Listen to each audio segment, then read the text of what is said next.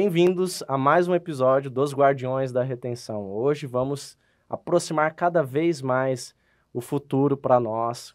Isso vai ser muito importante para você, pequeno e médio empresário que está aí escutando a gente, vendo a gente, para você estar tá contextualizado do que está vindo, do que já está acontecendo com o mundo e muitas das vezes você não está sabendo.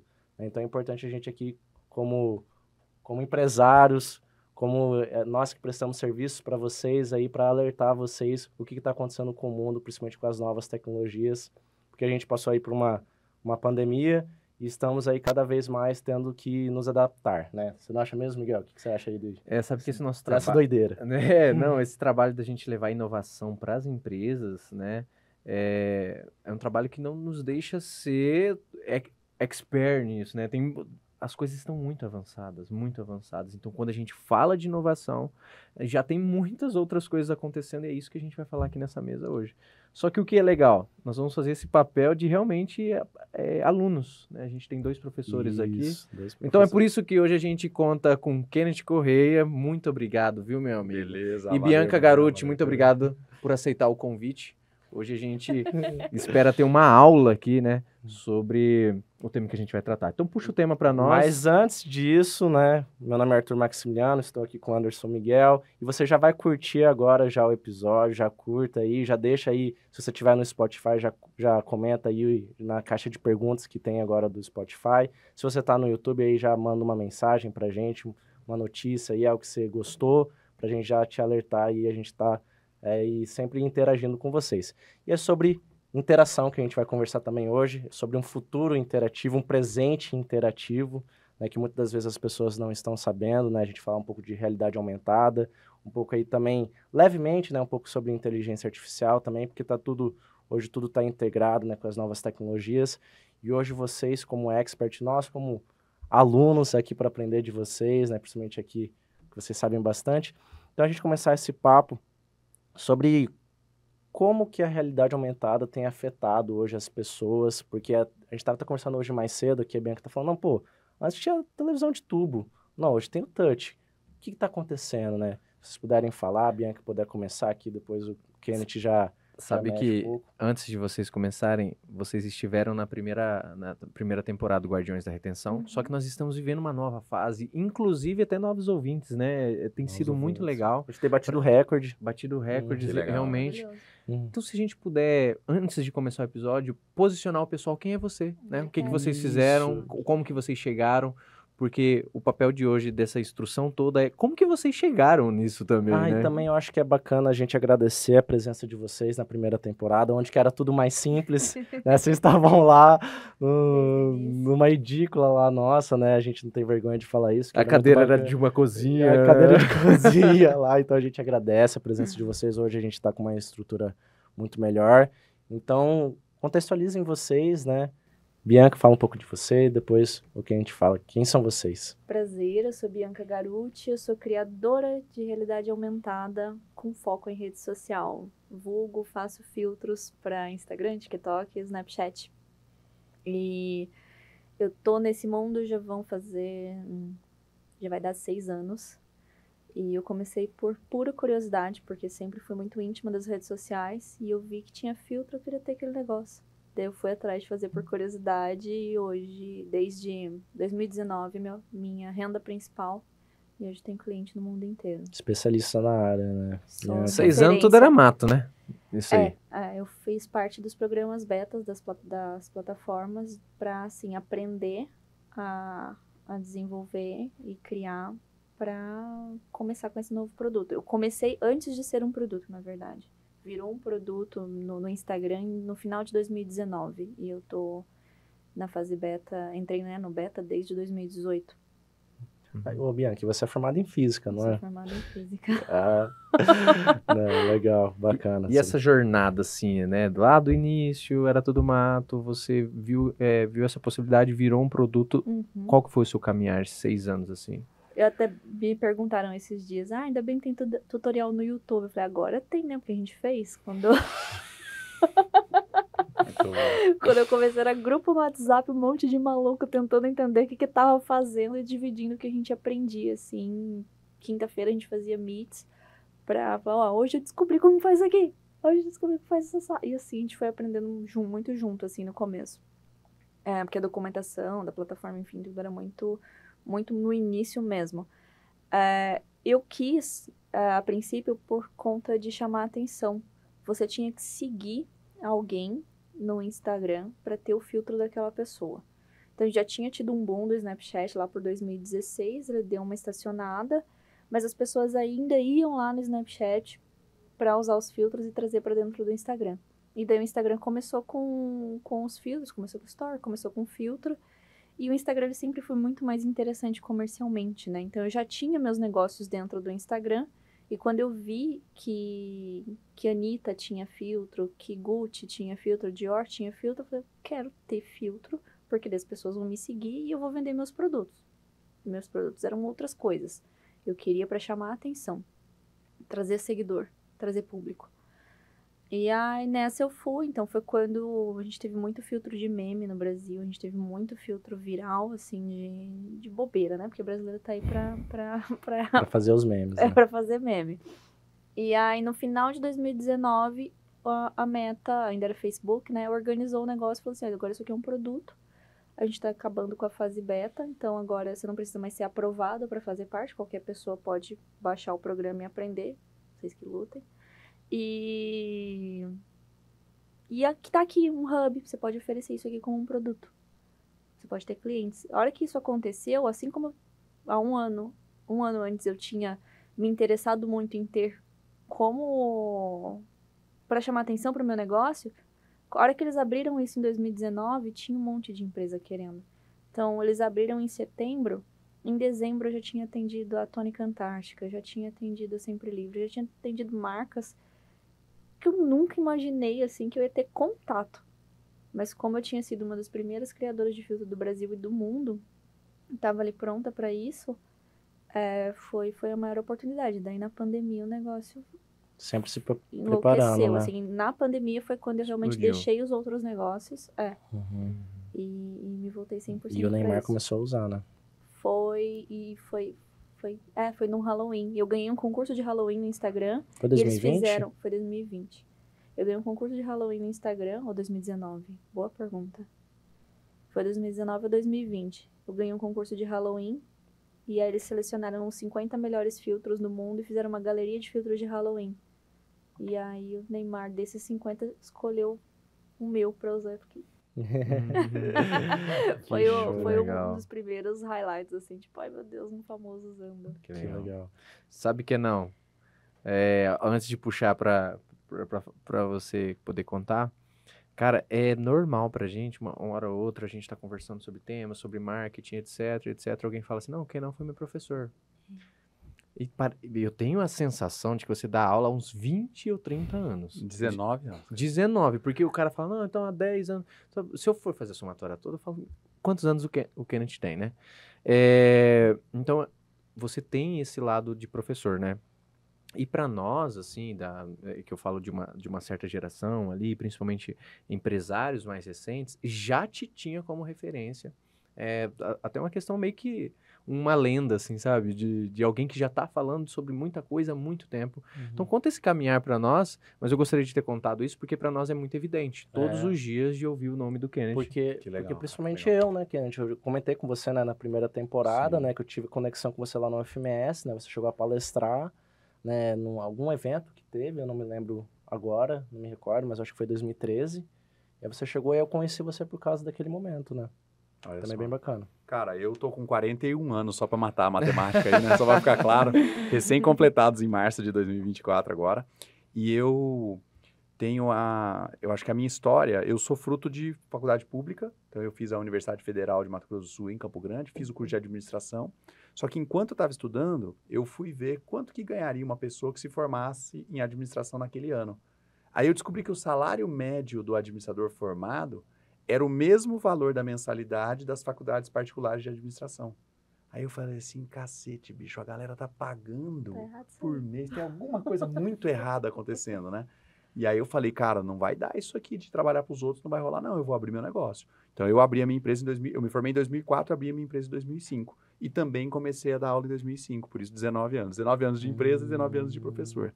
E eu sempre tive muita facilidade de falar em público, falar na frente ali do, do palco. Eu sou muito, eu sou nerd, então eu gosto de aprender coisa nova, estudar. Tava conversando com a jornalista hoje, dando uma entrevista, ela falou assim: "Nossa, mas como que você sabe tanta coisa assim de carro voador?" Olha só, a pessoa me ligou para dar uma entrevista sobre carro voador. E até eu me espantei com quanta informação eu tinha sobre o tema, mas é por isso, eu estou sempre vasculhando, procurando, querendo entender e aprender. Então eu sempre fiz isso para as áreas ligadas a negócios, e aí depois disso eu me desdobrei um pouquinho mais para marketing.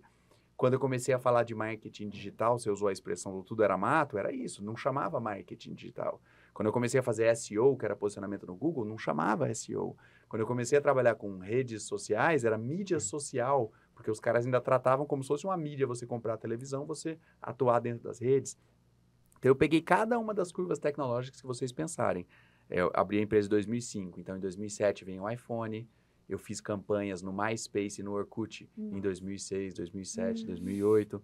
Em 2009 vem o Facebook para o Brasil. Aí eu falo de Twitter em 2010. Aí eu tenho o Instagram, que em 2012 era outra cara, outro jeito, mas Outra fizemos onda, campanhas né? por ali também. O Snapchat, que teve o seu auge aí, né? O seu período, Tá hoje ele voltando, deu tá uma voltando. lixada, tomara. E o Snap também. Depois TikTok, né? Que Hum. também nasceu Musical.ly, depois dobrou. Cara, então tudo que vocês pensarem de curva de inovação, e mais recentemente metaverso, agora inteligência artificial, eu sempre estava ali pertinho, tentando entender o que estava acontecendo e como é que eu decodificava isso para o empresário. Como é que eu transformava isso, agora assim como prestador de serviços, né? Como é que eu transcodificava isso para um produto, para um serviço, para uma atuação desse cara, para ele aproveitar esse potencial que eu sempre vi de tecnologia. Sempre achei maneiro, incrível, facilita a nossa vida, aproxima a gente. De vez em quando afasta também, né? Uhum. Ajuda a polarizar aí também um Uhum. pouquinho, mas que traz conteúdo, informação, deixa a gente atualizado. né? Então, acho que sempre fiz essa transição. A minha empresa hoje é a 80-20 Marketing. Então, que a gente começou com marketing digital, depois a gente expandiu o escopo para o marketing como um todo, uma visão mais integrada, ou 360, como alguns chamam. E hoje a gente atende aí algumas das maiores empresas que operam no Brasil, tanto empresas brasileiras quanto empresas multinacionais trabalhando por aqui. Tô vendo que tem um ponto em comum em vocês, assim, da, do que vocês é, buscaram, né, anteriormente, que vocês buscam, né, que é, assim, tem muito a ver com curiosidade, tem a ver com estar, assim, contextualizado o que está acontecendo com o mundo, ou muitas das vezes vendo alguma tendência, né, vendo alguma oportunidade, né, de estudando, buscando, né, e acredito que esse é o ponto também principal aqui do episódio, né, porque muitas das vezes a gente vai falar assim, pô, realidade aumentada, como que a pessoa lá na ponta, né, mas tem a ver com você estar contextualizado e aprendendo em constante mudança, né? E também tem a ver com inconformidade, né? Inquietude. Né? Teve um episódio, é, sem ser esse aqui, o retrasado, a gente trou- trouxe dois, um é head de tecnologia do, do PicPay, né? E outro um grande, um grande programador de software e tal, e os dois conversaram, né, sobre inquietude. Como que eles buscaram lá atrás estarem contextualizados com a tecnologia. Eu acredito que esse é o papel importante Uhum. também do empresário, né? Ele buscar esse conhecimento e saber o que está acontecendo, né? Eu queria saber de vocês, né? Como que para o empresário faz sentido o que a gente está conversando aqui agora? Também entender um pouco a pessoa lá da ponta, né? Pessoa lá da ponta. Hum. É, tudo ainda se resume, por mais que a gente comente assim, é, que esse tipo de inovação afasta as pessoas, né? Pelo menos esse relacionamento é, próximo, assim, presencialmente, mas ainda é sobre comportamento humano. Uhum. As Claro. plataformas ainda estudam e ainda vão entregar, o entregável das plataformas é comportamento humano, Uhum. não é verdade? Então, se vocês puderem explanar, principalmente puxando aqui para o seu lado, Uhum. é o Bianca nessa questão é, é, o que diferença entre diversão e trabalho, Aham. né? Que é um negócio interessante, principalmente para o empresário lá, o que, que é diversão, o que, que é trabalho dentro da, da questão, seja filtro, realidade, etc. Uhum. E puxar também esses pontos que o Arthur comentou. Eu gosto muito da, da rede social, por mais que me diga, ai, mas afasta. Eu não acho que afasta. Eu tenho, eu vejo meus amigos que eu não vejo há anos. Vejo amigos do outro lado do mundo. Eu tô vendo ali todo dia o que tá acontecendo com eles. Eu acho isso maravilhoso. E eu acho que a gente entra na rede social principalmente como entretenimento. Por mais que esteja cheio de anúncios, tenha muita coisa educacional, tenha dica, tem isso, tem aquilo. A gente entra, eu gosto sempre de pensar que eu entro, quando eu abro o Instagram, quando eu abro o TikTok, eu tô ali pra me desligar um pouco. Nossa, eu tô aqui, não aguento mais trabalhar, eu vou olhar aqui uma bobeira. Normalmente a gente abre com esse intuito. Então, sempre que eu penso ah, do meu produto, né, que é um filtro, eu tento pensar que eu tô tentando agradar a pessoa que tá ali. E eu acho que sendo o filtro ou sendo o marketing, seja o que for, o, o conteúdo que a gente põe dentro da rede social ele precisa ser agradável e leve Ô, pro Bianca, espectador. E eu achei legal que você fez essa comparação, porque a gente fala de rede social, fica pensando em tecnologia. Mas quando você traz esse olhar que ela trouxe de, puxa, é por entretenimento, é por diversão, ou é pra a gente Ficar ficar mais, leve, né? né, ficar mais leve, Uhum. cara, eu comparo, por exemplo, com fazer cruzadinha. Ah. Sabe? A Uhum. rede social é o fazer cruzadinha, Uhum. ficar um exemplo bem fácil Ah. de todo mundo entender. Que legal, que tem é, né? razão. É o É. momento que você tá ali pra Você vai desa- você desliga, Desligar um pouco. Tem, tem De treta, vez em quando tem... você aprende, né? tem Na cruzadinha você É, aprende também, né? a- verdade. Uma palavra nova Tem, tal, tem, mas... tem até uma, um, uma- um comparativo que as pessoas fizeram, que muitas das vezes é, é cruzadinho, que nem você falou, só que também parece muito a 25 lá de São Paulo, que é muita informação, Sim. né? Tem, tem essa, essa, Graças Deus essa um questão, né? algoritmo que tanta gente E muitas das vezes-. É, muitas das vezes você ali, e até o próprio algoritmo, ele vai direcionando o que é Sim. mais relevante. Você vai se posicionando Meu também esse TikTok conteúdo, tá né? treinado de um jeito, meu Instagram tá treinado de outro. Eu acho isso excelente. São, são legal. entretenimentos diferentes, assim, Uhum. né? É, sabe que eu tenho uma. Eu tava contando pro nosso gerente comercial, né? E você falou sobre a cruzadinha. Tava contando pra ele que eu faço visita aos doentes no hospital, né? Vai eu e um padre, a gente faz ali no hospital regional, são oito andares, a gente vai andar por andar visitando os doentes. Teve um domingo que a gente tava, tava andando e como a gente não usa o elevador, a gente só pelas escadas, a gente faz um andar, sobe escada. Encontra muitas vezes a pessoa tá no horário de almoço dela, tá descansando, então eh, os profissionais, né? Então eles estão encostadinhos num canto, estão numa cadeira e sempre mexendo no celular, né? Aí eu falei pra ele, assim, bobeira, conversando, falei, todo mundo tá no celular, né? O que que, como que era antes, né? Aí o padre não falou nada, eu e ele ali conversando, ele, aí eu falei, eles ficavam pensando, né? Ele falou, ou não, não quer dizer que eh, é porque antigamente não tinha celular que a pessoa tava, porque se fala muito isso, os antigos falam, ah, os, os jovens hoje não querem saber de nada porque Quando fica eu ali... vou almoçar com meus pais, eles que ficam no celular. Sim, e Eu não quer dizer porque antigamente não tinha celular que as pessoas estavam pensando, refletindo, filosofando sobre a vida. Não, na verdade estavam olhando para uma parede, talvez, né? Mas, ou fazendo uma se cruzadinha. distrair de outra forma. Isso mesmo. E para você, Kennedy, essa, é, essa evolução que se criou, né? Na, ser mais acessível a tecnologia. É, É. com certeza. Cara, tem, acho que tem um cara que estudou essa parada muito legal, ele chama Everett Rogers, é um americano. Ele fez um estudo de como as pessoas adotam uma tecnologia, como que a gente passa a usar. Então ele fez isso para o rádio, depois para TV, depois para o vídeo cassete, DVD, depois a Discman, né, que a gente ouvia Meu música a gente assim, viveu tudo isso. essas paradas todas aí que a gente passou. E aí ele estudou o seguinte, e aí claro, depois celulares e redes sociais, e se aplica agora aí a realidade aumentada que vai ser o nosso tópico. É, existem grupos de pessoas, estatisticamente, que têm níveis diferentes de adoção. Então eu tenho um grupo lá que chama-se inovadores. Mas não é o, termo genérico inovadores, não. É a Bianca sentada num grupo de WhatsApp com 17 pessoas totalmente que ela não conhecia, não sabe nem de onde veio ali juntos, tentando descobrir que botão que apertava ou o que, que puxava na setinha ou no mouse para fazer tal movimento. Quantas pessoas vocês conseguem imaginar que teriam essa paciência? Porque tem gente que hoje, você dá o tutorial prontinho no YouTube para ela assistir, que normalmente foi um Ela inovador que fez, perguntar. ela fala, não entendi. Aí eu lembro do Clóvis de Barros Filho, né? Que ele falava sobre a aplicação do Teorema de Pitágo- Pitágoras. Falava assim, cara, você tá sofrendo só para aplicar essa merda. Imagina o Pitágoras, ele teve que inventar esse negócio. É isso, o Pitágoras era o inovador da culhão. época dele. Aham. Então esse 1,8% aí da população é a galera que vai cavucar, inventar e descobrir. Só que, em geral, esse grupo inovador não tem acesso, momentos, entradas, oportunidades de conversar com a massa, com a maioria das pessoas. Até porque são mundos muito diferentes de quem está criando. Tenta imaginar como, que é um, como você bateria um papo com Pitágoras, né? Uhum. São mundos muito diferentes. Então tem um grupo aqui no meio, que é o grupo que eu considero que eu me encaixo, que é o grupo do Early Adopters. São os adotadores iniciais. Essas são pessoas que interagem com o grupo dos inovadores e interagem com o grupo da maioria. Quase como fazendo uma ponte. Um pouco do que você falou mais cedo. Vamos traduzir isso para todo mundo poder entender? Então, o adotador inicial, ele está de perto vendo o que está saindo daquele caldeirão dos inovadores, até porque o mundo da inovação é um mundo injusto. É um mundo de 99 para 1. Quer dizer, 99 coisas dão errado para uma dar certo. Sim. Só que o early adopter está de olho. Quando uma dá certo e faz sentido e, e parece que vai funcionar, ele adota antes das pessoas. Só que ele chega com um mato que alguém já desbravou.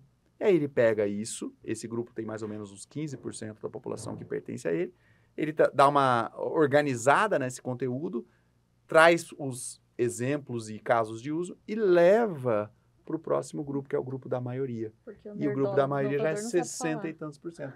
Porque, em geral, o inovador não tem nem a paciência Habilidades da comunicação. Eu né? sou, é, eu- você falando assim, eu- do, do grupo de, de, de criadores que vem desse início, a, a gente tem um, ainda uma porcentagem muito pequena de pessoas que se dedicaram a educar. Então, os, os que se dedicaram a fazer tutoriais, os que conversam, os que comunicam. Porque eu conheço criadores que são incríveis. Você não sabe quem ele é. Ele tem Bianca, 10 vamos falar seguidores. mais? Vamos ser mais preconceituoso ainda. Provavelmente, os que educam não são tão bons quanto os que estão Ah, com quietinhos. certeza. É isso, Hum, entendeu? razão. Então as pessoas me razão. Kenneth, você é um cara incrível, muito inteligente. Eu falei, não, cara, inteligente é aquela galera. Eu só sou o tradutor. Eu só consigo entender o idioma que eles falam, que não é o mesmo que o seu, e eu entendo o seu E eu tô idioma ali e aproximo. grupo né? comunicando. É. É isso mesmo. Eu Então eu acho muito legal quando Eu você começa a olhar desse a jeito, você percebe que essas novas tecnologias vão chegar para pessoas diferentes em épocas diferentes. Tem razão. Então, realidade aumentada já é algo que faz seis anos que a Bianca já trabalha com isso. E tem gente que está ouvindo esse episódio hoje que vai descobrir o que, que é hoje. Uhum. Tem razão. Você entende a relação tem de razão, tempo que sim. está envolvido aí? É E não isso, tá então são grupos diferentes. Uhum.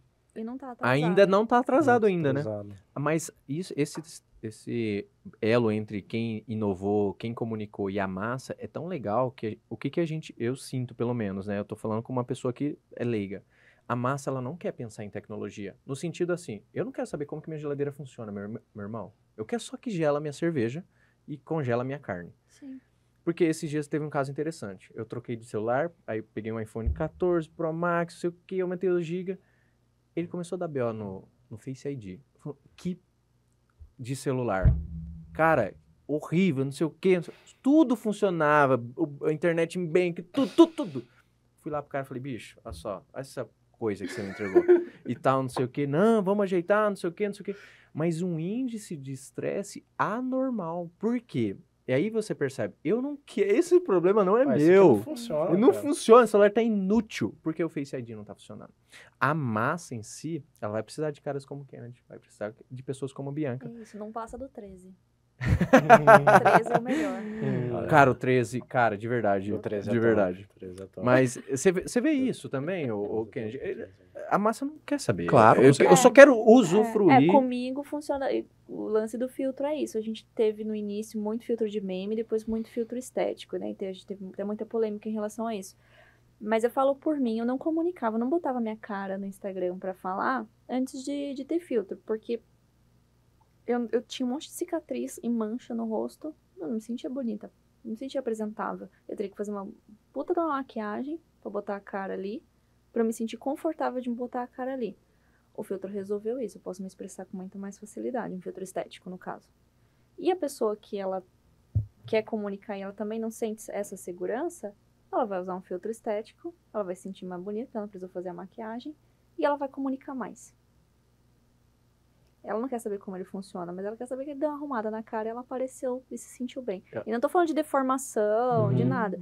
Tô falando de, de um protetor solar com cor que você passa na cara hoje já esconde as cicatrizes de, de espinha. É, é desse tipo de que coisa são que eu tô falando mesmo. E as pessoas né? só querem aparecer melhor.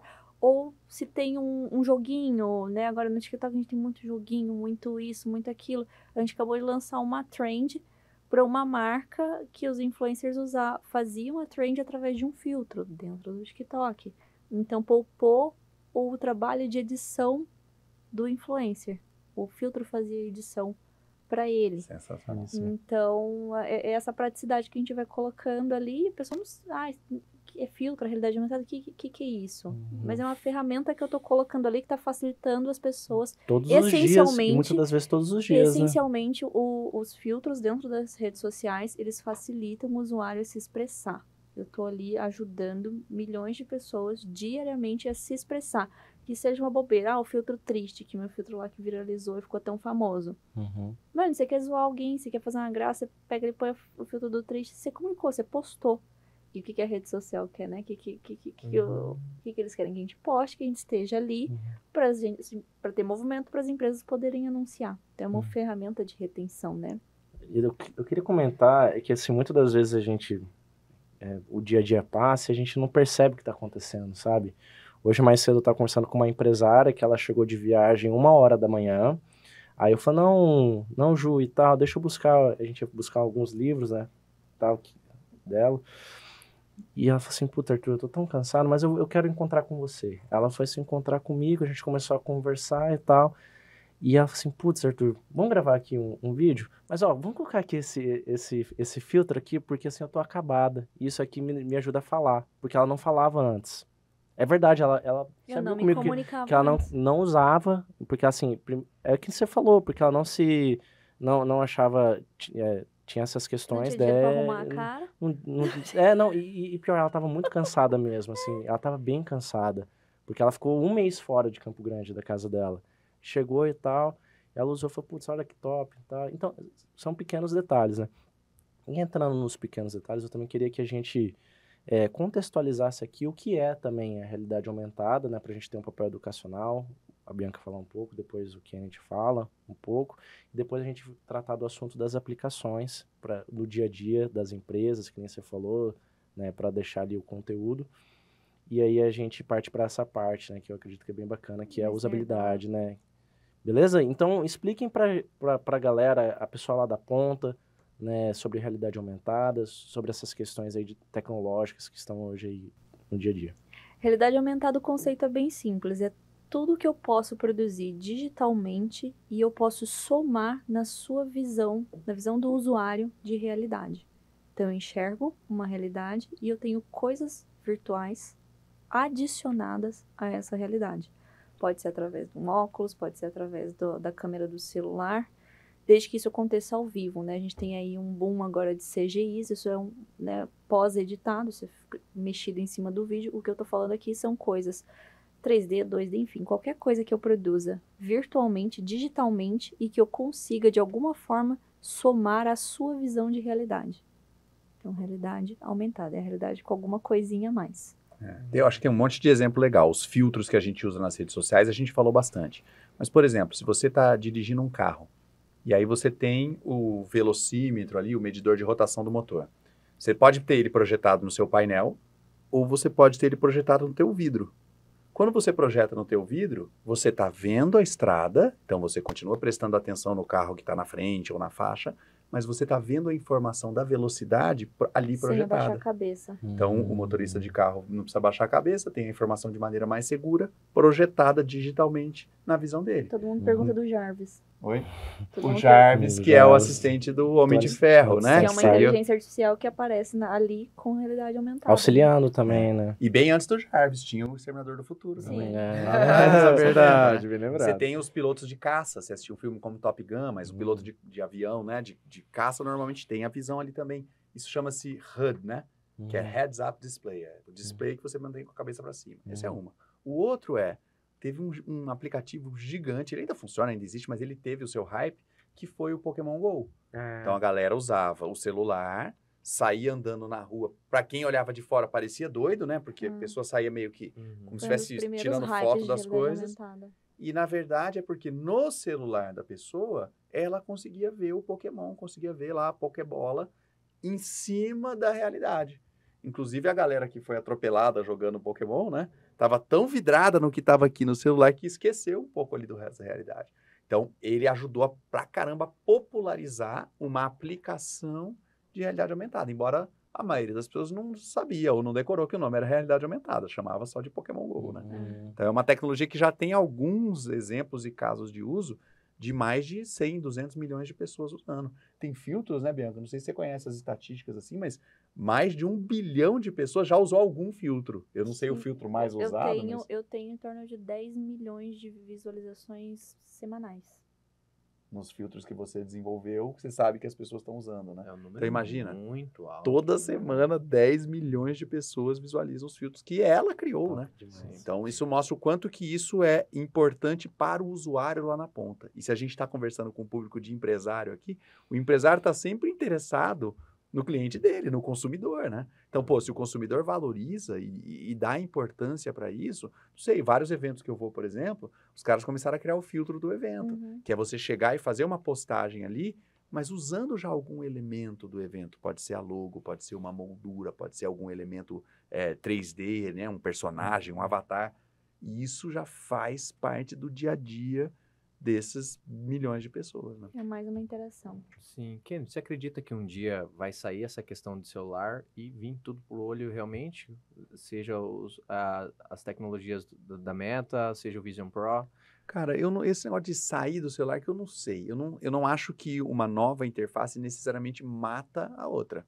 Então, hoje a gente tem os óculos de realidade virtual, os óculos de realidade mista, que permitem a gente continuar vendo aqui fora. O Apple Vision Pro é o exemplo que agora está todo mundo falando que a Apple lançou no comecinho de 2024, mas os celulares continuam aí, né? Uhum. Firmes e fortes e funcionando. Então, não- eu não iria numa coisa de um vai apagar ou, ou remover ou diminuir o outro. Mas, sim, está aumentando todo dia a quantidade de pessoas que usam óculos né? Aí Uhum. pode ser desde aquele trambolhão que fecha toda a vista aqui, até, por exemplo, a parceria que a Meta fez com a Ray-Ban, que fez um óculos do tamanho de um óculos Ray-Ban. Ele tem um, é É um um pouquinho mais câmera. pesado, ele tem uma câmera aqui na frente que capta as informações visuais, pode gravar vídeo, produzir stories ali, e agora eles integraram uma inteligência artificial, onde você pode conversar. O Zuckerberg até postou, né? Semana passada, ou essa Sério? semana, ele andando em vários locais diferentes, nos parques eh, nacionais dos Estados Unidos,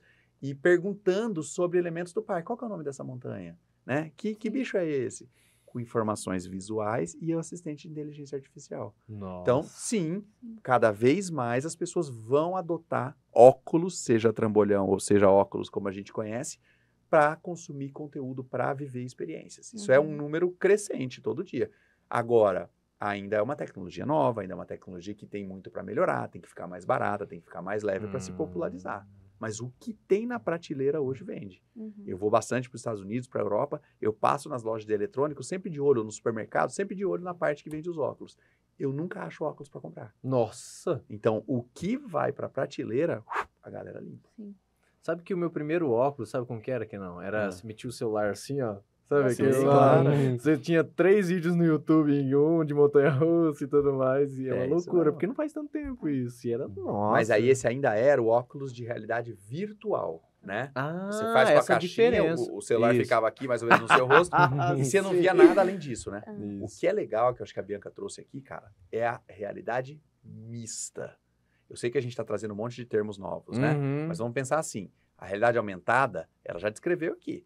Você continua tendo o contato aqui com a realidade e você tem informações adicionais. A realidade virtual, você literalmente se desconecta desse mundo que a gente está vendo aqui. Lembra que o óculos está grudado? Então é Uhum. fácil de enganar o seu cérebro, de como se você estivesse em um outro lugar. Você tá Esse lugar foi completamente imerso. você está imerso num mundo que foi criado pelo computador, o mundo digital ali dentro.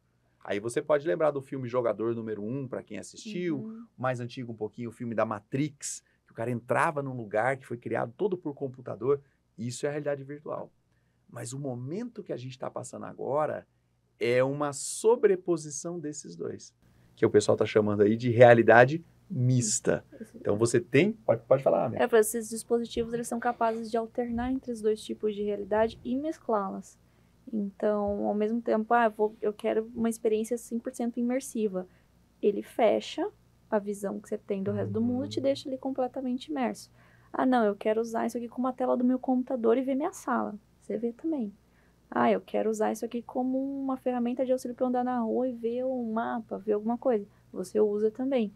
Então, a gente, esses dispositivos de realidade mista, eles juntaram a, a realidade aumentada com a virtual e te deixa livre para alternar entre elas. Ô, Bianca, você sabe que a gente estava falando antes de começar o programa sobre a diferença dos dispositivos, né? Claro que o Apple Vision Pro, pô, tá todo mundo falando.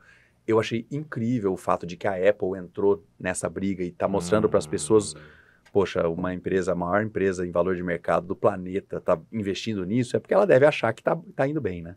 E eu Uhum. até brinco com as pessoas que falam, não, esse negócio de metaverso não vai dar certo. Aí eu fico pensando, puxa vida, será que eu confio nessa pessoa ou no Tim Cook, né, e à frente da Apple investindo? Mas de qualquer maneira, é, eu achei que a Apple fez uma coisa muito legal no óculos dela, que, o, que a gente não tem nos outros modelos do Quest 3. A Apple, para quem usa o smartwatch da Apple, você tem aqui do lado a, a Crown, né? Uhum. Essa rodinha, não sei como é que eles Uhum. traduziram para o português aí. Uhum. Mas essa rodinha para você comandar. Uhum. Eles colocaram no óculos essa rodinha Uhum. E você pode girar ela para frente para você ir para o mundo de realidade virtual e girar ela para trás para você ir para o mundo de realidade aumentada. Então isso que a Bianca acabou de descrever de Mesclar, né? alternar, Ah, você alternar faz na mão. E um exemplo muito legal que eles usaram no vídeo de apresentação foi aquele filme Tudo ao mesmo tempo, tudo Ah. tudo junto ao mesmo tempo, eu acho que é o Ah, nome do sim. filme. Ganhou Oscar também, não ganhou? Ganhou o Oscar e que ele faz uma cena que a, a mulher sai Uhum. e entra do- do- da realidade do filme lá. Uhum. Então isso foi uma, acho que uma inovação bacana, porque ela dá uma percepção muito legal de você entrar naquele mundo, Nossa, tem sair razão. sabe? Uhum. Uma, uma Tem implementação legal. Isso que você está comentando, pra, vou dizer a nossa experiência, né? Você pode tanto trabalhar com várias telas, uma Uhum. notícia aqui, aqui, aqui a sua- a- a- o seu desktop, um exemplo Mas assim, né? transforma sua sala no desktop. transforma a sua sala, te coloca no cinema, mas você realmente, essa função, né? Lembra de abrir e fechar você numa montanha e você pode trabalhar com Ontem som, mesmo gente som do vento, né? E aí é uma- um processo evolutivo tão legal, tão legal que quando a gente estava jogando com o Vision Pro, se a gente se aproximava de uma parede, ele começava a, a- a- a- abrir a visão aqui para você não bater Sim. na parede. É porque isso foi um problema dos primeiros quests da meta, as pessoas caíam. Ah, Literalmente, né? A pessoa fica tão sofá, imersa que ela é. cai, ela tropeça, bate a canela, É. né? Hum. Chuta A gente- com o mindinho, sabe aquele chute É, mindinho? a gente tá falando do, do, dos- do, do, do Vision Pro, né? E eu comentei do, da Meta, que a Meta já tá fazendo óculos há algum tempo. A gente já tá no Quest 3. Antes a gente teve o Quest 1, Quest 2, Quest Pro. O 1 e o 2, eles eram dispositivos de realidade virtual exclusivamente. E aí no primeiro Quest acontecia isso, porque ele não tinha alerta de Colisão, né? De que Exato, tinha... as pessoas caíam. Aí no segundo eles já melhoraram isso, mas ainda imerso, ele dava os alertas de que tem objetos ali para a pessoa não cair. Agora o 3, o Pro e o 3, eles já são uma realidade mista, então você já consegue E, e por curiosidade, pelo nome do podcast, o nome dessa função é guardião. Ah, É. Sério? Você cria o seu guardião, você estabelece o limite onde você pode transitar na casa, no espaço que você está tranquilo, e o guardião é que te avisa se você está É. chegando perto do limite. Então tem- leva esse nome. E uma Uhum. coisa que você falou do. Da, de, que, que ele comentou de vai, vai dispensar o celular, não vai. A gente tinha, né, o que eu comentei antes da gente começar aqui, a gente começou no monitor de tubo lá atrás, com não tinha mouse. Os primeiros computadores eram só no teclado. É, não tinha Windows, era DOS, meu Deus. É, e a gente evoluiu, a gente continua usando o computador. Só que agora ele é super fininho, a tela é super fininha, mas o computador ainda tá lá. E você pode usar a tela dele agora com. trazer ela para dentro do, do óculos. Então isso só evoluiu. O dispositivo ele continua existindo. Ele evoluiu assim como as tecnologias adjacentes evoluíram junto com ele. E para onde a gente está indo, a gente só está transformando algo que estava muito fora para algo que vai ficar cada vez mais imersivo. Então é só a experiência que estava antes longe no teclado, depois veio pro mouse, depois veio pro touch, agora ela tá vindo pro imerso. Você fica ali igual um doido, né? Fazendo assim no ar. Uhum. Pra quem vê de fora, né, parece que a pessoa tá totalmente... doida. É, É, mas totalmente você vê ali alienado. dentro, gente, você. Hoje eu trabalho com uma televisão e dois monitores, assim, né? Pra caber tudo assim.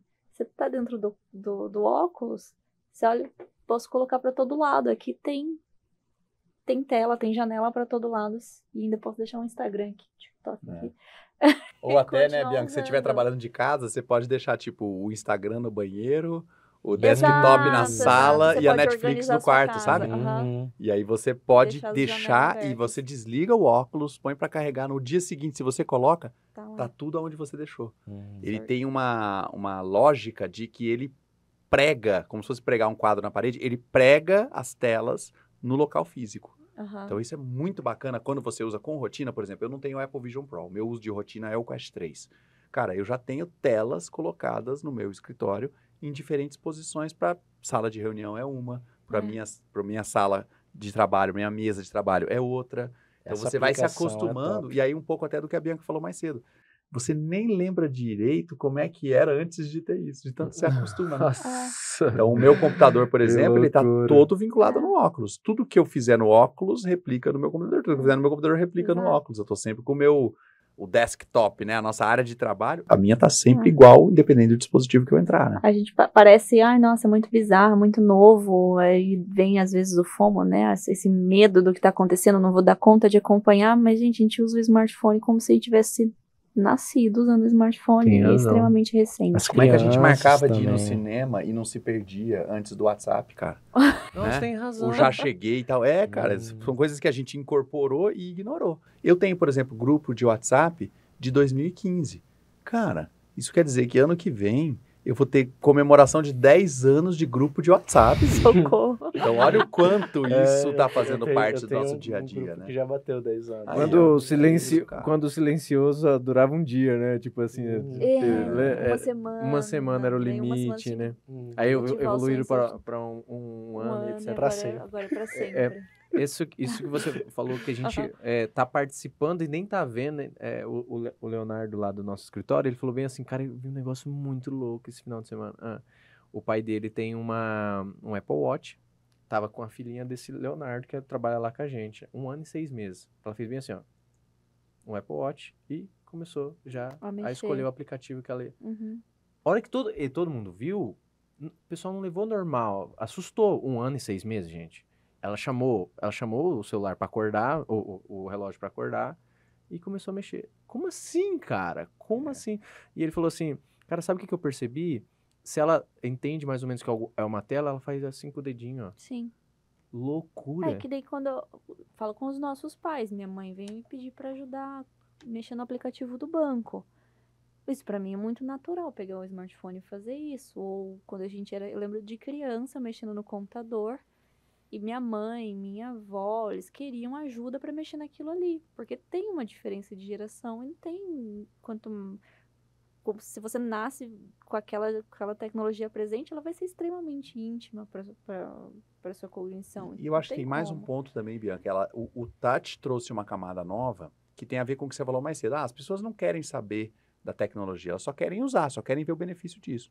Então eles criaram e desenvolveram as tecnologias com o touch, e aí eu acho que o Steve Jobs é meio que um, uma imagem ícone para isso, é que o toque é muito natural. A minha Intuitivo filha, demais. a primeira vez que ela viu uma revista, ela tentou fazer touch na página da revista. cara. Nossa. Entendeu? A gente toca, a gente é ser humano, a gente tem mão, É. né, cara? Então o touch deixa a coisa muito mais natural para quem usa a primeira vez. Agora, é claro que a, a criança que chegou agora é diferente da pessoa né, mais idosa que passou por várias tecnologias para chegar até ali, né? Tanto que é um ícone a, o lançamento do touch do Steve Jobs, né? Ele falou, Sim. vamos usar uma caneta, é, né? O que ele, Ele, vai faz falar, esse questionamento, né? é, ele fala, nós vamos usar o melhor, a, a- a melhor coisa para se apontar algo, para se mexer com algo, que é o dedo, né? É. Aquilo lá é um ícone, aquilo É lá. isso aí. E ele fez isso no iPod Touch, né? O É. primeiro. Saiu do iPod. O iPod já tinha, no iPod 2 já tinha uma lógica de você Aquela rodelinha. Era legal, né? É. Você comandava a rodelinha do iPod para escolher as músicas e acelerava para você entrar e sair das pastas. Mas quando ele fez o iPod Touch e a lógica de você ter os aplicativos ali dentro, que foi depois o berço para o iPhone em É. 2007. Mas foi revolucionário, cara. É isso mesmo. É coisas para ficar. E, e como está, gente? Acho que venera o cara, né? Tá na Uhum. história aí essa, Sim. esse desenvolvimento. O Johnny Ive, né, que é o designer por trás desses produtos todos, o Steve Jobs trabalhou com um designer-chefe que é o Johnny Ive. Ele agora foi recém-contratado por outra empresa, mas é um cara que tá aí, ele tá na pista desenvolvendo tecnologias, né? Que loucura. Gente, esse papo ele é muito profundo, sabe? E assim, é de verdade, a gente não falou nada, porque a- ó, enquanto a câmera tava desligada, eles falaram aqui do TikTok, eu falei, cara, eu nem sei de TikTok, eu não entendo. Aí vocês soltaram aqui, vocês dois, ah, o Snapchat tá voltando. Tá voltando? Aham. então é muito Eu tô profundo. Snapchat, eu tô acompanhando lá. É, o Snap ele tem, ele foi a, a rede social que investiu primeiro em realidade aumentada e que foi que investiu melhor e continua sendo a melhor. Fora, todo mundo usa o Snapchat no Brasil que ele deu Uma apagada. essa, essa apagada, mas eles, e eles não tinham time no Brasil. Agora eles estão reconstruindo o time no Brasil e eu sou educadora do Snapchat. Então, estão Que construindo. legal, hein? E Bianchi, acho que a galera nem sabe, se bobear eles nem sabem, que o Snap também tem óculos.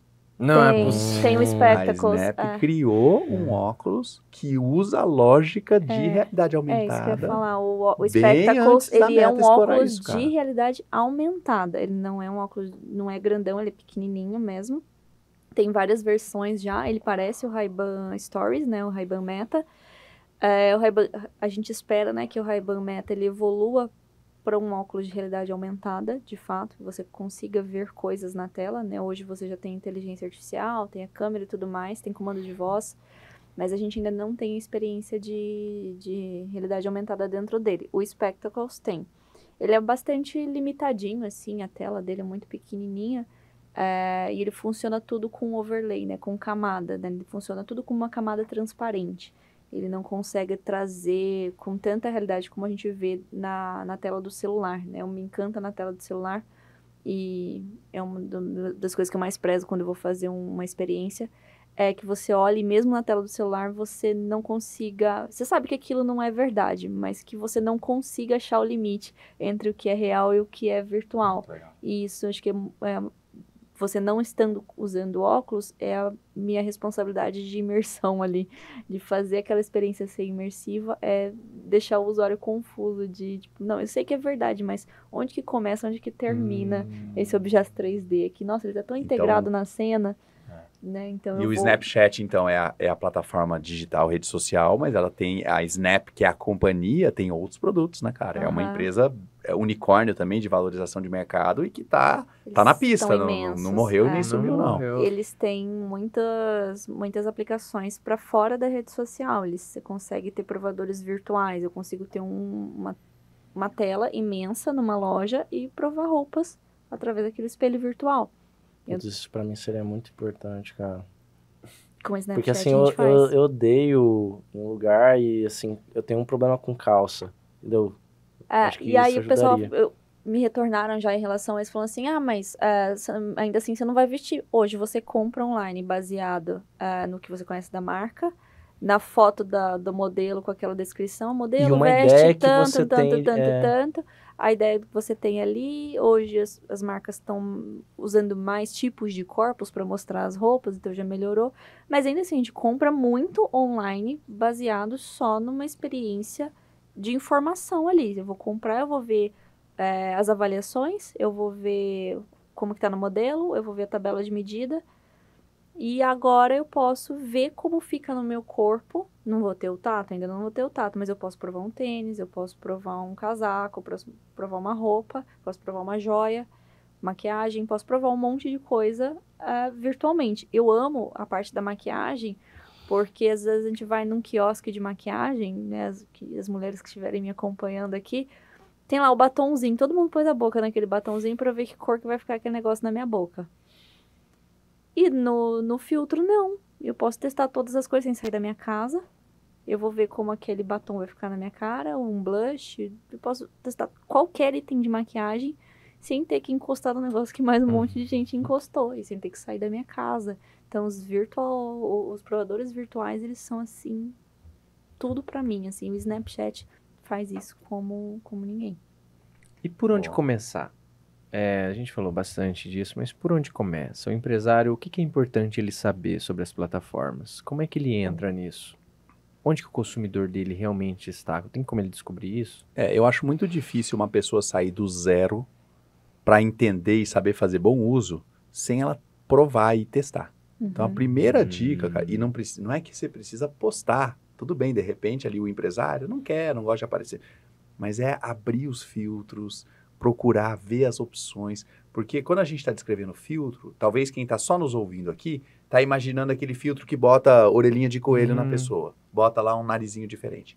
Mas quando você começa a explorar o que os filtros são capazes de fazer, eu já vi muito dos trabalhos da Bianca, são sensacionais. Eles mexem no ambiente inteiro, não é só na pessoa ou no rosto, né? Uhum. Tá criando- Então, acho que o primeiro super passo é pega o seu Instagram, ou se o empresário não tem Instagram, pula ali no celular dos filhos, né? E dá uma olhada no que, que já existe de opções, o que, que já está sendo feito, né? em que as marcas estão fazendo. Uhum. Quais É, consumir porque esses se você produtos. começa a consumir, e, e consumir é experimentar, é, é olhar, é aplicar, é ver, simular, para você começar a ter um pouco de ideia como que você traz isso para o teu negócio. Acho que a Bianca trouxe um, um exemplo super legal para o pessoal do varejo de moda, né? Que é fazer a questão de experimentar as roupas. Então, Super top. se você fizer o seu próprio teste dos filtros para cada um, e aí cada pessoa que está acompanhando a gente aqui é de um negócio diferente, vai conseguir pensar ou visualizar possibilidades que podia trazer para o seu negócio, né? Existem é o as primeiro passo. três plataformas essenciais ou não? É, que- A gente tem Porque a gente públicos diferentes em cada uma delas. É, hoje eu, a gente estava falando do Snap, hoje o Snap ele tá muito voltado na gringa, né? Então eu trabalho muito com o Snapchat fora. No Brasil, eu quero muito que ele volte a ter essa força que ele teve antes, porque realmente eles têm é, é a melhor ferramenta que a gente tem no mercado para brincar com a realidade aumentada e fazer, enfim, experiências incríveis. É, o Instagram, ele tem tem também muita, muita possibilidade de experiência. É, o comercial do Instagram é muito, muito bom para a galera da nossa idade aí, quem tá que de 25 a 40 anos aí, mais ou menos. O consumo do, do Instagram é muito grande, então vale a pena conversar com esse público lá. E a gente falou mais cedo do TikTok. O TikTok tem uma galera um pouco mais nova usando. E o que, independente de ser com realidade aumentada ou independente da tecnologia que você for usar, entender que quem vai consumir seu produto no futuro tá usando o TikTok agora. Daí você não vai estar lá? Você vai deixar essa gorizada crescer sem saber que você existe? O Bianca aí, deixa eu, eu adorei o seu ponto de vista, que é pegar esse consumidor no começo, mas eu queria até desmistificar uma coisa. TikTok não é de gente nova não, cara. Não. Tem 215 milhões de brasileiros. Essa é a população do Brasil. Tem 96 milhões de usuários de TikTok. Sim. Se você pegar dois brasileiros na rua, um usa TikTok. Sim. Então a gente já está falando de todas as é faixas muita etárias. gente. Sim, tem né? Não é só quem entrou pequenininho e cresceu. Uhum. O TikTok se transformou numa plataforma muito relevante. Uhum. Então eu acho que assim, se eu for trazer uma visão bem racional, o empresário gosta da coisa de números, né? Cara, estamos falando de 96 milhões de usuários de eh, TikTok no Brasil. Quando eu falo de Instagram, eu estou falando aqui de 140 milhões de brasileiros. E não esquece do Facebook. Então, de tá? cada tá três, com tudo. Tem dois. E o Uhum. Facebook, que tem muita gente que acha que morreu, que não usa Hum. mais. Nada. Todos os meses, 120 milhões de brasileiros se conectam no Facebook. Nossa, e esse lance do TikTok, assim, a gente, a gente entrou no TikTok, né? Com a segunda temporada, a gente começou a postar sempre lá. E lá a gente tá batendo sempre recorde de É uma visualização. loucura. É, insano, é porque insano. Aham. a gente postou um, um vídeo O comportamento semana é passada. diferente, mas E, e aí é muito louco, porque a gente postou, a gente trouxe o Luciano Lopes, que, que foi é, diretor da Leroy Merlin, ele foi aqui e ele começou a falar da experiência do cliente, né, algo ali, né, e tal.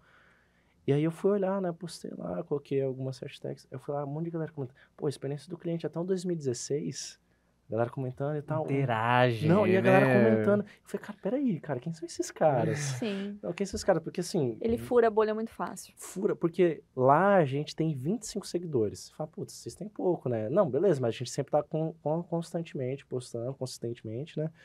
E lá começou essa galera a comentar, fala, cara, Ele quem são fura a esses bolha mais caras, fácil. Só que a gente nem divulga o TikTok. Tem esses não, 25 é, seguidores. Tem, tem, a gente não, não, não trabalha dessa forma, mas a gente tá lá. Por exemplo, o Snapchat.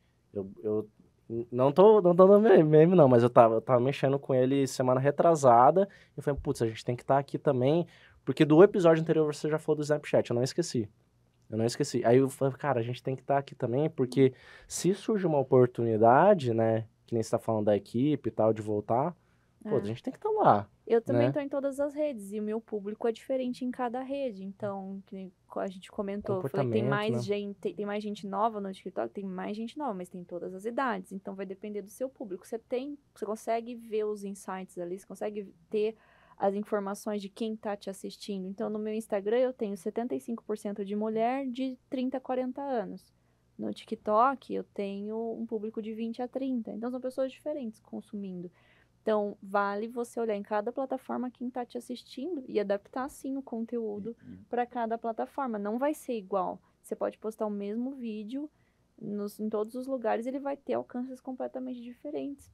Pô, Bianca, aí vamos só complementar, porque ele pediu três. Uhum. Eu acho que a gente falou do TikTok e do Instagram em termos de números. Mas a gente não falou da maior plataforma do Brasil, cara. Qual que é? WhatsApp? Bom, o WhatsApp, é, é. É. O WhatsApp Uhum. com certeza tem a maior adoção aí. Uhum. Mas qual que tá aí no, no meio do caminho? Entre o Instagram. O que, que pode ser maior que o Instagram e menor que o WhatsApp? LinkedIn?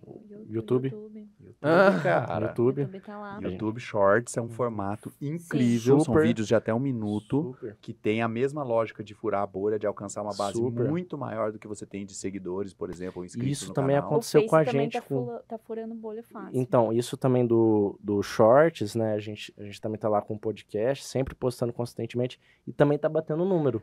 Tá batendo número, e isso é muito interessante, porque na realidade as estratégias nas plataformas, elas, elas são distintas, né? E só que assim, eu falei, cara, tá furando a bolha, olha só. E assim, a gente, humildemente, tá postando lá. Claro que sempre. reno- é Que assim, eu sou muito adepto à cultura da consistência. Tudo bem que a gente vai melhorando, melhorando, né? Que nem, que nem a gente fala. Só que, pô, cara, toda semana a gente tá lá, cara. Tem que ser. Toda semana É lá tá com shorts, reels, sustenta isso, TikTok, sempre constantemente. Eu sou muito adepto à consistência. Aham. Talvez não fazendo da melhor forma, com certeza. Mas constantemente. Não, mas a, a constantemente. consistência é o que, tá é o que hum, faz a presença em qualquer da- da- das plataformas. Isso é importante o Todas, empresário saber. todas, a todas, constância. Sabe que isso. se Se- for- Ah, eu só posso postar uma vez por semana. Posta uma vez por semana, mas posta uma vez por semana. Vai ser legal, hein? O que você, a- a, frequência que legal. você definir, você cumpre ela. Ah, mas eu tô postando uma vez por semana, não tá tendo resultado.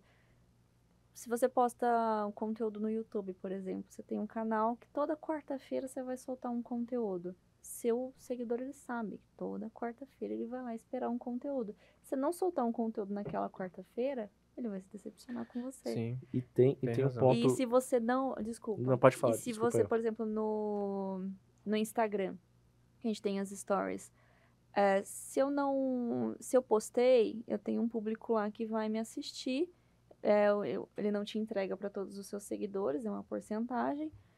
Mas se eu não posto com a frequência que eu me dispus a postar, alguém vai postar e vai atingir o seu usuário, porque o seu usuário não vai deixar de consumir a plataforma porque você não postou ele vai continuar consumindo. Então, se você não tá presente, o algoritmo vai ter que entregar alguém no lugar. E, nossa, e tem algo. E aí, aí que a constância pega.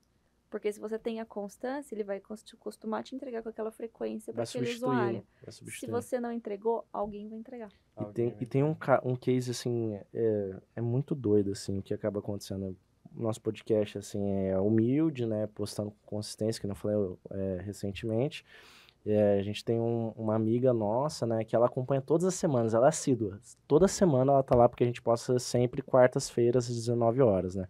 Ela tá lá, e aí a gente trouxe um colega nosso, um parceiro nosso, né, o Vlad, que ele tava aqui, e ele era nutricionista antes. E ela é nutricionista.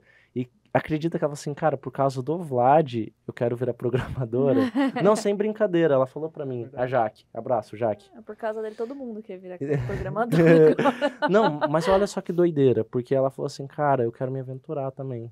Por causa que eu, eu vi que o Vlad era nutricionista, ele se Mudou aventurou, de dessa- área. mudou de área, e eu quero, por causa do podcast, eu tô acompanhando, e eu Ah, quero não, também, to- quero to- também... Todo pai que vem preocupado pra mim, ai, meu filho não sai do celular, ele ensina a programar. Ensina a programar. É, Você, vocês comentaram, a gente comentou sobre plataformas. Eu vi um vídeo seu esses dias. É, você estava lá no Space Today e falou sobre. Você estava falando do óculos, né? É, e o que, que é interessante? Nós falamos aqui sobre o YouTube, agora você le- levantou. Eu assisti seu recorte, mas já não sei onde. Cogito que seja no Instagram. Só que ontem a gente estava com a nossa gerente financeira, aí ela fez, fez uma fala com, a com o time dela. Falei, você pareceu o advogado Paloma. Eu assisti um recorte, deixa eu te mostrar aqui. Eu não achava. Sabe por quê? Eu assisto shorts no Facebook, eu assisto no YouTube, o Instagram e TikTok. Aí quando eu lembro de um meme, eu falo, eu não sei onde eu assisti. Você entende? Já, já assim, eh, por mais que você falou que se comunica diferente, tudo, mas eu hoje de manhã eu tava assistindo, eu lembro do vídeo que teve uma, uma briga num campo, aí o cara foi entrar pra separar, ele se contundiu e caiu no chão, aí eu dei risada, né? E aí eu Quem tava disse que eu lembro onde eu vi? onde eu vi pra mostrar a- e outra, a- aperta e encaminha, né? Então, dane-se, eu sou, isso aqui é engraçado, vou mandar pra fulano, né? Não sei- Eu já não sei mais Uma onde que é. de meme. É, Então, é- é- então Kenneth, essa, Você- essa questão dos recortes hoje é um negócio muito louco. Por quê? Esse, eu tava acompanhando muito o negócio do Cariani, porque virou muito meme lá, né? Aquele traficante e tal, não sei o quê. bom. É... Eu tô seguindo ele há meses e não sabia que... Não, não, sabe o que, que que foi? Da, da, da creatina do Cariani? É, eu tô seguindo ele há meses e não sabia que ele vendia creatina. Né, que eu não sabia que ele vendia suplemento. É muito bom. E e o que, que aconteceu? O que, que foi legal? Você fica ali assistindo, o algoritmo te entende. Só, Por exemplo, você tá vendo muito Cariani. E começa a aparecer. Não é o Cariani que tá postando, é uns malucos. Sim. É, sim. É. Faz os canais de cortes, né? O... Canais de corte. Sim. É. Sim, o, e o TikTok é ligeiríssimo nisso. Mas muito rápido. E aí eu comentei com vocês antes, cada, cada plataforma consome um tipo de conteúdo diferente. É muito diferente. Por exemplo, no meu TikTok não tem nada de tecnologia. Nada. Tem coisa de banda, que eu gosto. Mr. Big. Tem Mr. Big. Que, que você assiste, você fala, que você consome. Que eu consumo. É, ela como usuária, Eu como O usuária. TikTok entendeu Ela que o seu educou negócio. o aplicativo dela ele- pra entregar o conteúdo que o ela meu quer que ela TikTok, ele me entrega essencialmente entretenimento. O meu Instagram já me entrega muito trabalho. Porque eu consumo muita tecnologia dentro do Instagram. Mas você moldou pra também acontecer Mas isso. E foi de isso. propósito, né? Isso, então né? eu tenho consumos diferentes em cada plataforma. Então, dependendo do meme, eu sei, da, eu tô mais organizada pra saber de onde veio. Por conta disso, porque em Que cada legal, lugar é eu tenho isso, consumido. não. eu né? consumo de forma Mas isso foi, diferente. você- foi de propósito. então. Foi. Ah, então. Então tem a estratégia que você, como É porque o, consumidora, o seguiu, algoritmo né? ele aprende, o Spotify também aprende, né? Quase tudo Sim. hoje tem algoritmo funcionando para entender o que você quer consumir ali. Vou dar uma dica de plataforma pra vocês, então. Vocês conhecem uma chamada Letterboxd? Uma plataforma de cinema. Não sei se vocês gostam de filme e série. Uhum. Você entra lá, seleciona as séries que você assistiu, seleciona os filmes que você assistiu. Aí você pode marcar a estrelinha, tipo, de 1 a 5 estrelas, o que, que você achou. Depois que você avalia umas 30, uns 30 ou séries ou filmes, aí ele começa a te recomendar. Ah, putz, fantástico. e aí tem sido Nossa. muito legais. Eu tô Ah, é gostando ótimo. mais das recomendações disso do que as do Netflix, por exemplo. A Porque a Netflix, também tá recomenda, né? trazendo- A Uhum. Netflix tá trazendo o o, hype que ele quer empurrar, Então, mas né? o meu é Então. pior ainda, porque como as minhas crianças usam a mesma conta, o meu Socorro. Netflix é envenenado. Ah! Aí no Letterboxd tem só o que realmente eu escolhi, Ah, que eu julguei, que eu avaliei. Nossa. Então é legal, chama Letterboxd, letter de, de carta e box de caixa. Uhum. E aí, pô, é muito legal. Letterboxd. Esse daí é interessante que você falou, porque você o do top 10 Brasil lá, você assiste uns e fala, ah, irmão, não é possível que alguém gostou desse negócio. Não é. Não, mas é Aham. tendencioso. É, puxando aqui um assunto só para realmente também, né, falando dessa parte de marketing, né? É, principalmente ali o Kenneth, você que é 8020, um dos maiores nomes aqui do nosso estado, você teve muito contato com várias outras agências de marketing lá em São Paulo, né, Rio de Janeiro. Sim. É, vocês fazem essa recomendação pro cara ou, ou não? É, Sim. ge- Qual, eu qual digo a assim, ó, recomendação?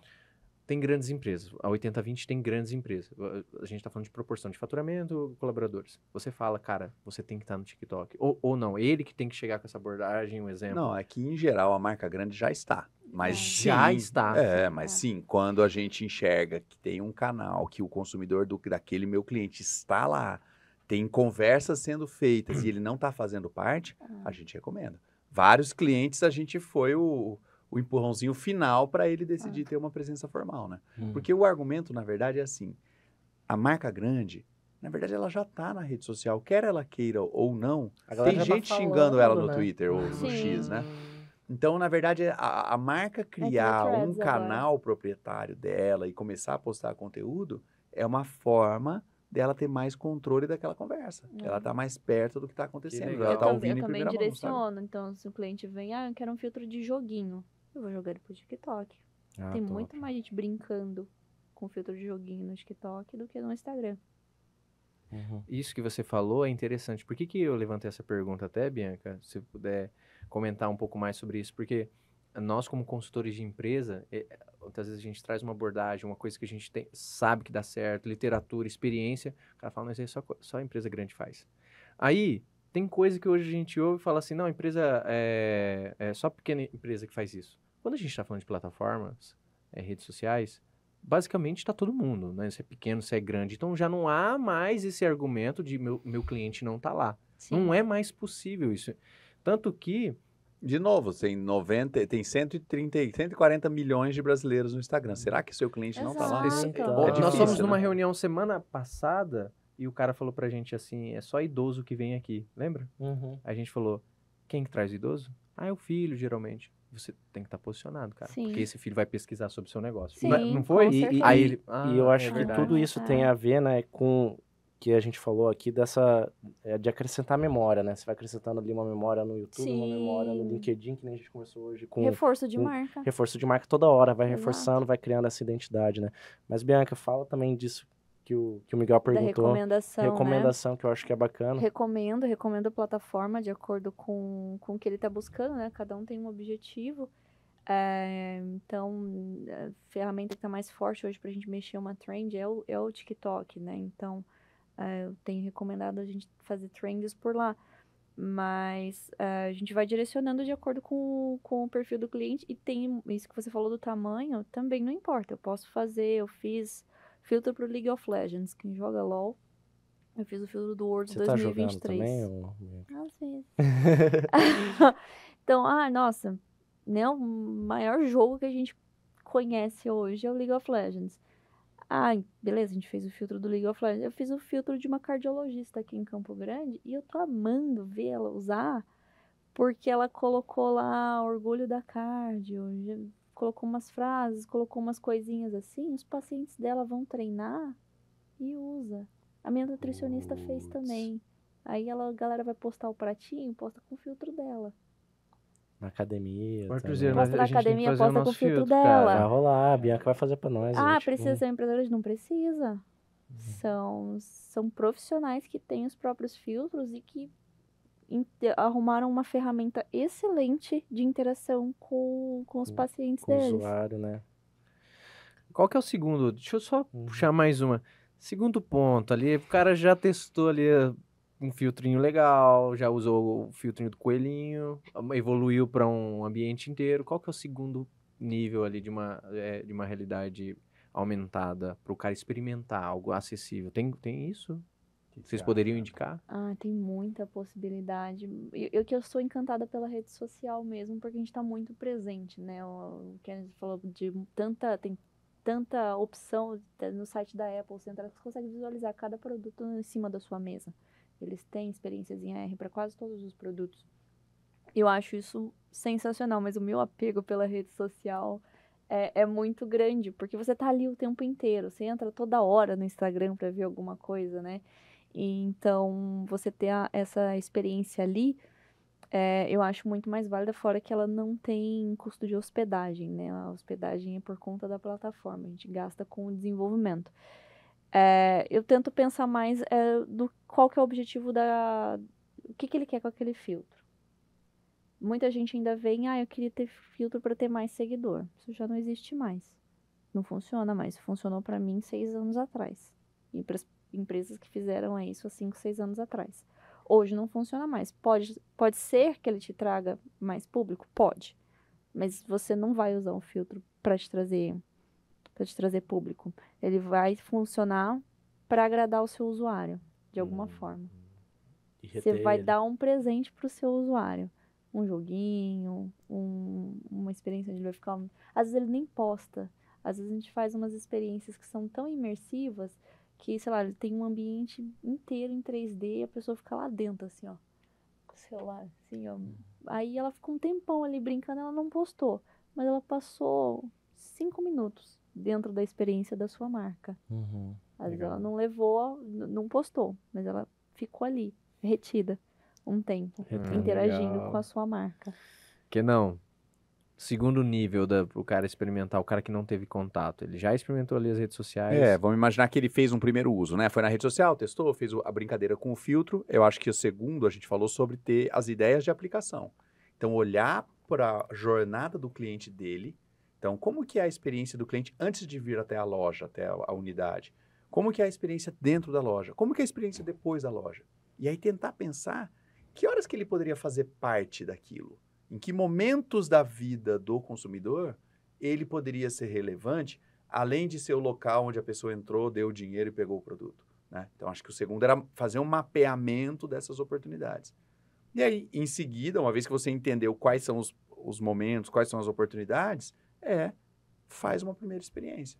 Faz um investimento, chama uma pessoa profissional, chama a Bianca para entender o que, que dá para fazer como possibilidade e começa a testar de fato, né? Vai para o mercado, vai para a pista, vai para a rua para experimentar. Sim, Vai o- pro cara lá da ponta. O quanto você acha o Isso aí. metaverso acessível pro pequeno e pro médio? Então, é que, assim, hoje você tem pelo celular e pelo computador, tem plataformas gratuitas. Hum. Então, não tem custo para você criar um, um espaço e convidar o seu cliente para ir ali para dentro. A questão só é, o que, que você está esperando com isso? Hum. Então, por exemplo, hoje eu não recomendo para o cliente falar assim, não, cara, você precisa criar uma... ah, o, o Guardiões da Retenção tem que estar lá dentro do metaverso, porque tem milhões de pessoas passando na frente. Não, não é um shopping. Uhum. Não tá assim. Uhum. Ele é muito mais um espaço que, se vocês quiserem fazer uma versão do programa onde os participantes possam sentar aqui junto com a gente, né? Simulando como se estivessem junto com a gente, assistindo a gravação do programa, aí é excelente. Aí é uma ferramenta para isso. Mas ela ainda não é. Por exemplo, se você quiser atrair clientes novos, eu quero. Vai pro TikTok, vai pro Instagram, pô. É ali que tá, os clientes estão ali, né? Ali que tem Uhum. centenas de milhões de pessoas para você explorar. As, as experiências imersivas, elas já são o pezinho no metaverso. Então, se você usar, você usar um filtro no Instagram, já é uma experiência Você já no tá lá. Sim. você É. já tá lá aos poucos. O, o, no Senac Hub, uma vez, numa palestra sua, alguém levantou a pauta. Se eu quiser provar hoje, aí você falou, cara, tem esse site, alguma coisa assim, que eu lembro. Eu É. anotei, mas eu perdi isso. Como é que. Não, uma plataforma que eu gosto de recomendar chama Spatial. S-P-A-T-I-A-L. Spatial. Porque ela funciona no desktop, no seu computador, ela funciona no mobile, no seu celular, e ela funciona no óculos de realidade virtual. E independente da- do que a pessoa estiver usando como dispositivo, os três conseguem interagir, os três tipos de dispositivos, no mesmo ambiente. Então, e ela é 100% Legal. gratuita. Então, acho que essa é uma para fazer Muito um legal. primeiro experimento bem bacana, Spatial. Legal, galera. É, desculpa se é a pessoa chata, né? Mas a gente vai ter que. Já, já vamos pro final aqui do episódio. Esse é o famoso, a conversa tá boa, É, mas... vamos vamos deixar para o pra segundo momento. A gente vai cumprir o combinado aqui também de uma hora, porque eu sei que vocês são pessoas muito importantes, tem vários compromissos, né? Mas, assim, eu convido vocês, assim como vocês participaram da primeira temporada, a gente ter a oportunidade de gravar outros episódios. Quem sabe com a Lê, você grava com a Lê. Legal, Quem sabe o Bianca claro. grava com outra pessoa que tá ali usando todos os dias a- essa cardiologista, por exemplo, e a gente poder ter esses novas, esses novos, essas novas ideias, insights, né? Que eu acredito que é bem importante. E eu queria que a gente tivesse aqui esse momento agora do final, é, para cada um passar um que conseguiu absorver com o episódio, né? Esse momento chave ali, né? Então uma ideia, né? Que eu, que eu acredito que é bacana que a gente teve. Eu vou começar, né? Tá aí legal. depois cada um passa aqui, a gente faz dessa forma. E aí depois vocês podem também aproveitar e deixar as redes sociais de vocês, que eu acho que é importante para as pessoas seguirem, né? Vocês também produzem conteúdo, né? É importante estar aí, né? E é bem bacana, né? Eu acredito que o, o insight que eu consegui re- retirar aqui, que eu falei, putz, cara, é, é- é detalhe, né? É que cada plataforma tem um público diferente, né? Que nem a Bianca falou, putz, e você também moldar o algoritmo para aquilo que você quer. Porque, por exemplo, pô, TikTok, eu não vou entrar ali para ver coisa nerd assim, né? Eu vou, quero me distrair, então vou abrir a plataforma com esse intuito. Não que ele seja só para isso. Pode ser que a pessoa vai moldar Uhum, Exato. o- a plataforma para a necessidade dela. Falei, putz, cara, isso é muito importante, isso é muito interessante. E tá marcando as memórias. Memórias em cada plataforma. Porque muitas vezes você não sabe onde que você viu, mas você viu. Mas você viu que cada pessoa tá em todas elas. Então esse foi meu insight, né? Que eu acho que foi muito bacana. É o consolido ainda mais que ainda é sobre comportamento humano. A gente falou realidade aumentada, é, é, plataformas, o como que o cliente vai sentir isso, mas ainda é sobre comportamento humano. Isso nunca vai se distanciar, porque é isso que gera experiência. Então, é, com certeza é isso. Novas boa. formas de relacionar, né? Hum, novas formas de se relacionar. É isso aí. Aí a tecnologia intermedia. Eu acho que eu vou pegar a, a expectativa da Bianca do Snap, né? Crescer de novo no Brasil, né? É, Pô, eu ia, curtir demais, cara, porque realmente é uma plataforma e é, e é uma empresa, um time por trás da plataforma é incrível, assim, cara. Só deles criarem o que eles criaram, não só do app, mas do ponto de vista dos filtros e como tendência que todo mundo copiou. No fim Sim. do dia, Todo se você parar para o Snap. No Shorts, no TikTok e no Reels, tudo isso é Snap, cara. Uhum. Então, assim, é realmente uma plataforma que eu ia adorar ver ela crescendo de novo, né? Aumentando a, a popularidade no país de novo. O Snap tinha até o status, né? É, então, o status do Snap virou story. Uhum. Tudo Depois veio que do veio Snap, o filtro, Uhum. o, o- o- a, a mídia ali que dura 24 horas só, ela veio do Snap. O Uhum. fantasminha ali, Sim. sumiu 24 horas. Uhum. É no Snap. Ah, o meu. Minha conclusão. não, é de não ter medo da tecnologia, assim. É sempre que a gente troca essas ideias, é sempre vem com isso de, meu Deus, o que tá acontecendo? Não vou dar conta de acompanhar. Não, isso não é pra mim. Não, não vou, vou, vou desistir antes de começar. E sempre vem essa, essa ansiedade, falo por mim como pessoa ansiosa. Então, é, e também lembrando do, do, do que o Kenneth falou, que, cara, vai ter gente que vai estar ali há mais tempo e sabendo muita coisa, mas você não precisa saber tudo, você precisa estar ali entendendo os perfis, entendendo o que está acontecendo, você evitar é, a tecnologia não vai ser legal porque ela vai te atropelar. De alguma forma ela vai te atropelar. E a gente, como, como empresários, querendo estar presente, é, é importante a gente ter intimidade com ela. Se você ainda vê ela, a tecnologia como inimigo, tem também, né? Conhece seu inimigo, né? Tem seu inimigo próximo. Bem, melhor, melhor você conhecer, então, seu inimigo do que deixar que ele te, te acerte de alguma forma. Então, é independente de como você veja a tecnologia, é melhor você conhecer um pouco melhor ela, mas sem medo mesmo. Tá aberto para possibilidade. Pessoal, muito obrigado pela presença de vocês. Muito top, agora juntos. Foi difícil, né, gente? É, não, ainda, Caraca. não, ainda faltou eles diz- diz- é, dizer como é que As encontra redes, vocês. sim, É. sim. Não, com certeza. Mas eu queria só deixar esse momento para agradecer vocês. Vocês podem deixar as, as redes sociais. E eu vou encerrar o episódio também. Mas eu quero agradecer pela presença de vocês. Assim, a gente, vocês mostraram total disponibilidade. Eu achei muito bacana de vocês dois, né? Assim, fiquei muito. a- Ficamos muito acolhidos ali no momento.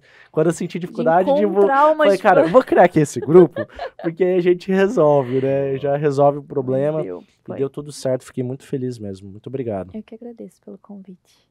Deixem as redes sociais de vocês. Digitar Bianca Garuti, do jeito que tá escrito meu nome em qualquer rede social, você vai me achar. Com dois T's, né? Com dois dois T's. Com dois T's, importante. O meu nome é mais difícil, assim, de É, falar, né, cara? é. Mas eu também, eu, como você falou, como, como você percebeu, Arthur, em cada rede social a gente é uma pessoa, né?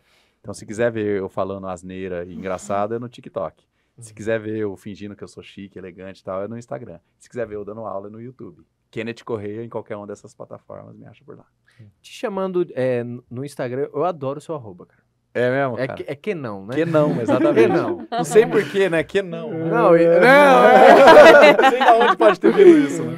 Não, mas o. E, e você tinha esse arroba disponível, né? É, exatamente. cara. Ah, Certinho. o meu é meu nome também, porque eu tô lá desde que era mato, né? O É. Instagram começou em 2010, eu tenho Instagram desde 2011. Olha só. Nossa, era mato mesmo, né? Uhum. Pessoal, meu também, meu muito obrigado, tá? Vocês estiveram com a gente na primeira temporada. A Retemax, ela tem um propósito, né? É muito difícil a gente, muitas vezes, explicar para vários empresários, mas a gente tem conseguido através do papel educacional. Para nós isso é muito importante. E a gente conta com pesso- é, pessoas como vocês, cara, que tem, tem um nível de importância elevadíssimo na nossa região e a nível Brasil. Então, nosso agradecimento. Agradecimento a toda a nossa equipe, né? Enquanto estamos aqui, né, Arte? A equipe está lá fervendo com as, com as empresas que são nossos clientes e a gente agradece muito. Peço mais uma vez, claro que porque vale a pena, deixar o seu like, se inscrever no nosso canal, se você está no Spotify ou no YouTube, tá bom? Muito obrigado pela presença de vocês, valeu!